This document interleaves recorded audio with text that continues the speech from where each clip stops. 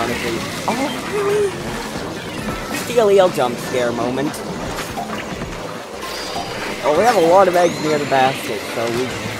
Maybe?